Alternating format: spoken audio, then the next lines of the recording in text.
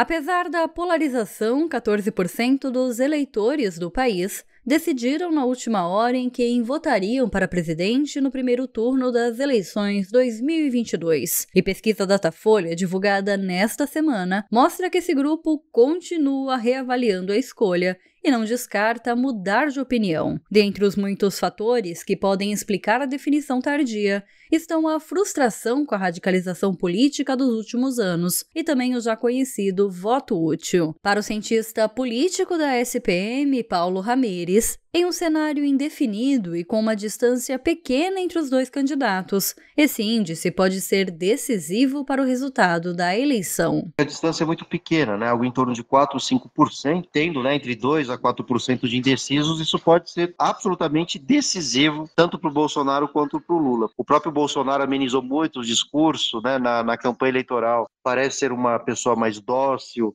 menos agressiva. O Lula a mesma coisa, né, evitando colocar dedos nas feridas ou alavancar temas mais polêmicos, como a questão do aborto. E o indeciso vai ser guiado exatamente em função dessa leitura de quem possui mais ou menos carisma. Segundo o Datafolha, 7% dos eleitores definiram voto para presidente somente no dia da votação. 3% decidiram na véspera e outros 4% só fizeram sua escolha na última semana antes do pleito. E para fisgar o eleitor que não está convencido por nenhuma das duas campanhas, a estratégia dos candidatos é evitar polêmicas e apostar em pautas morais. O indeciso geralmente ele tem na ponta da língua uma opinião mais moral. Né? Ele não vota em Bolsonaro nem Lula, seja por conta de casos é, de corrupção, ou até mesmo uma aproximação e distanciamento com a figura de Deus.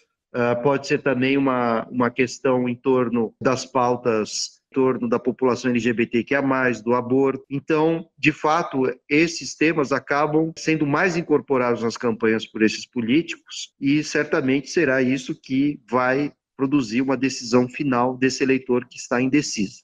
Ainda de acordo com o especialista, a definição tardia do voto e mudanças de última hora podem explicar a discrepância entre as pesquisas de intenção de voto e o resultado das urnas. Resta saber qual será o cenário do próximo dia 30 de outubro. Agência Rádio Web, produção e reportagem, Rafaela Martinez.